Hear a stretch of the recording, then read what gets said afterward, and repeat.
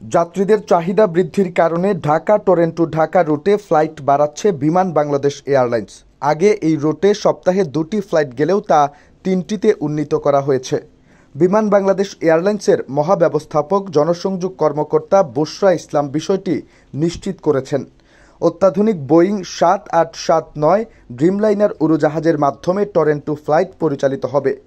বসরা ইসলাম জানান, আগামী একত্রিশ অক্টোবর থেকে প্রতি বৃহস্পতিবার অতিরিক্ত একটি ফ্লাইট টরেন্টো রুটে যোগ করা হয়েছে। এর ফলে একত্রিশ অক্টোবর থেকে ঢাকা, টরেন্টো, ঢাকা রুটে সপ্তাহে প্রতি শনিবার, মঙ্গলবার ও বৃহস্পতিবার তিনটি ফ্লাইট চলবে। বর্তমানে এই রুটে শুধু মঙ্গলবার ও শনিবার একটি করে ফ্লাইট পরিচালিত হচ্ছে। বিমান জানায়, এরই মধ্যে বিমান বাংলাদেশ এয়ারলাইন্সের সব ডিস্ট্রিবিউশন চ্যানেলে বিক্রির জন্য ওই ফ্লাইটের টিকিটগুলো উন্মুক্ত করা হয়েছে।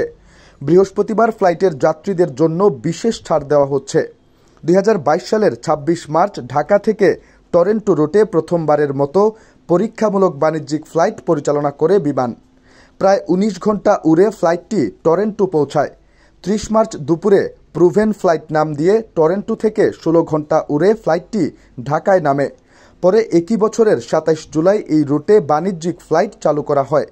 সর্বশেষ দুই হাজার চব্বিশ সালের মে মাসের তথ্য থেকে জানা গেছে, এই রুটে গড়ে প্রতি ফ্লাইটে নব্বই শতাংশ যাত্রী নিয়ে চলাচল করছে, যা অভাবনীয়।